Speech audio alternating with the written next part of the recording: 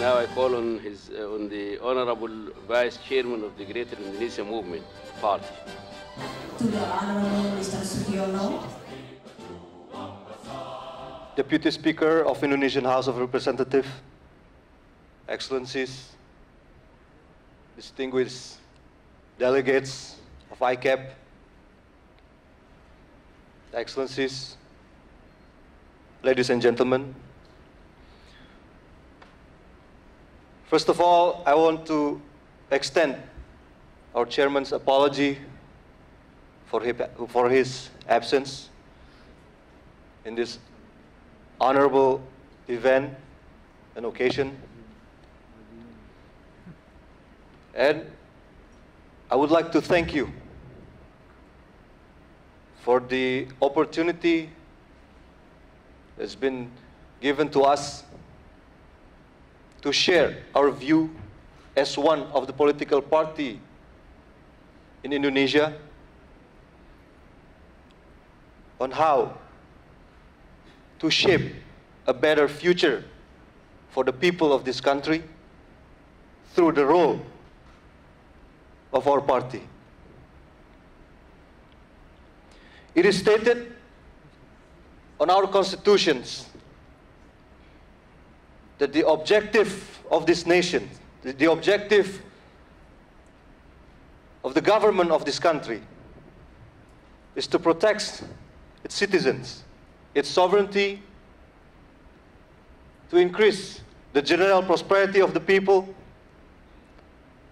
to smarten the population, and also taking part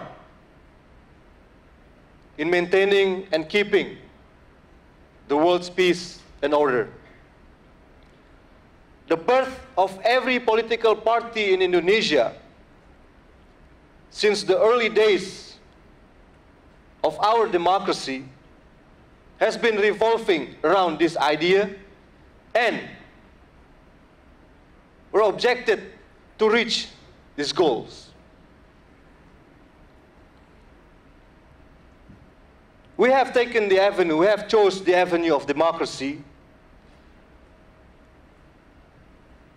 in order to select the leadership to best govern and pilot this country to reach those goals and objectives. This is where we see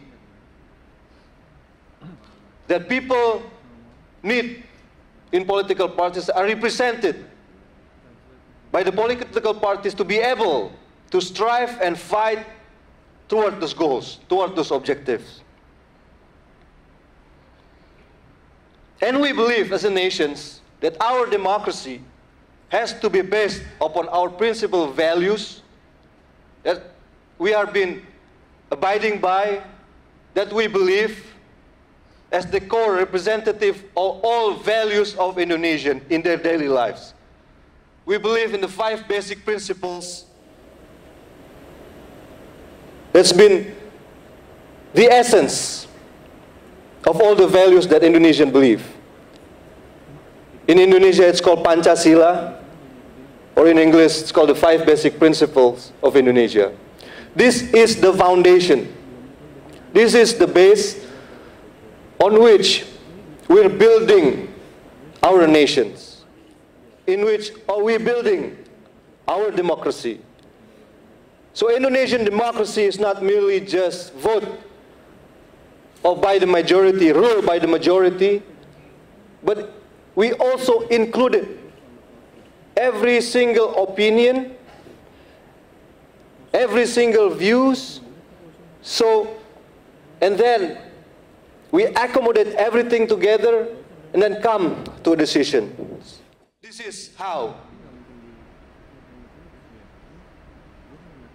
the understanding of democracy in Indonesia has been applied.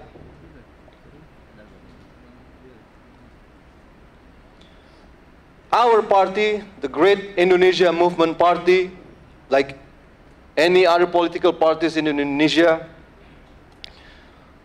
was also established to fight and strive toward those objectives, to make a better life for the country, to make a more prosperous society of the Indonesians. Our party was born in a situation where corruption is rampant, unemployment is high, people are still devoid of good education, problem of malnutrition, problem to access for the uh, health services and health care, and problems with drug abuses within society. We have a worrying number of 8 million addicts in Indonesia. That's one part of society, societal problem that we have to uh, solve. And myriads other problems that need to be addressed. This is the situation, the background on which our party was established. And this is the idealism and the fight that we as a party, as a political party, as a movement, is fighting. As a political party, we also believe that we, that our role, that our party's role is not only on the political stage, but also as a movement. As a movement to provide our people with better health services. Our party's program, one of our party's program that provides clinics all over Indonesia for free. And also we build cooperatives to increase the prosperity of our members. We believe that through movements, people will see and people will believe that political parties are still doing it works for their prosperity and their welfare. However, we believe that by ourselves we mean nothing. Statue. We need to work as a team, all political parties in Indonesia, in order to reach our goals.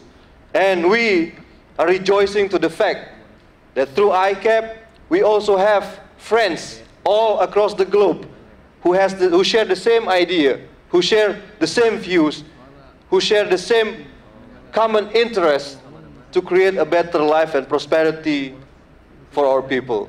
Again, this is an honorable moment. This is an honorable event to be here joining you, discuss and share our views and informations so that we can create a better future for each of our respective country. I thank you very much for your attention.